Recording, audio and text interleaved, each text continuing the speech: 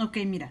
Por ejemplo, aquí tengo una página. Me voy aquí donde está la página, selecciono mi página, le doy copy, aquí está lo de la página, le doy copy y entonces me voy a mi citation machine. Ahí te vas a asegurar que tu citation machine diga MLA. Aquí mira, aquí arriba dice MLA, le das clic ahí y luego le pones website porque estás aquí abajo va, estás buscando website. Ya que tienes MLA y website, le pones, pegas aquí tu, tu información.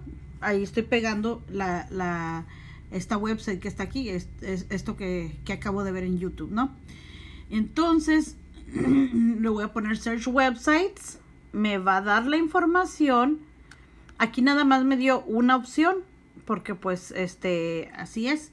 Nomás encontró YouTube. Le doy seleccionar a la que sea y entonces me va a dar toda la información. Encontró ese lugar, cuándo se publicó, en qué año, el día, que lo estoy encontrando, este, etcétera, etcétera, etcétera.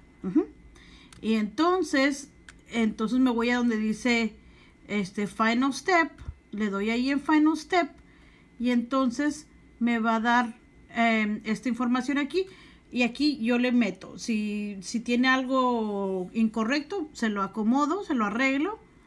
Este, y entonces ya va a decir Create Citation. Y entonces voy a crear la, eh, la cita. Y entonces aquí me da University Storybook.